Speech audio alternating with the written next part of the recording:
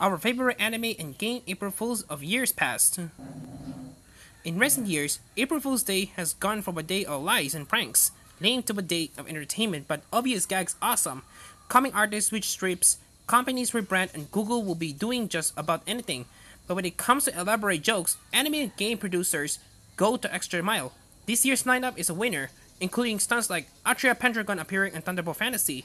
There have been plenty more, but until we collected them all up, we're looking at some past winners what of this has ever even gone on to become a reality? The Godzilla smartphone. Shin Godzilla stormed into theaters in 2016, and this April Fool's Day gag saw the rise to popularity the following year. Fans were offered a Godzilla smartphone model after the big lizard's second form in the film. With 55 core processing and a 550 million pixel camera, this larger than life item already sounds too good to be true, and of course it was. The downside running a phone of this magnitude will leak radiation. Also, the promised 55G connection only work on Tokyo's Haneda Kamata area, which, according to the film, Zilla smashed. In the Marvel Steel from May Abyss.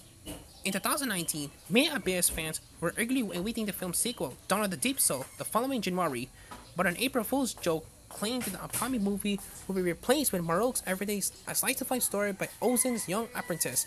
While the studio was quick to reassure fans, even on the day, that Marulk's Everyday was a joke, it did live on in some form and ended up becoming a series of four shorts, one of which was screened every week prior to Dawn of the Deep Soul in cinemas. So fans got to have their cake and eat it too.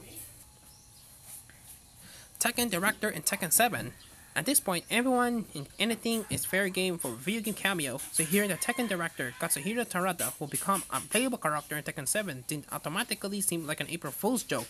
After all, you can get you can fight the Square Enix and Platinum CEOs in Nier Automata. This just seems par for the course. Sadly, Harada's promise to show in at the Mishima feud was nothing more than a gag for the day. Then again, alongside this was a video game claiming that the next Yakuza game will be a turn-based JRPG, so perhaps it's fair to hold up hope after all. What are your favorite anime April Fool's jokes jokes this year?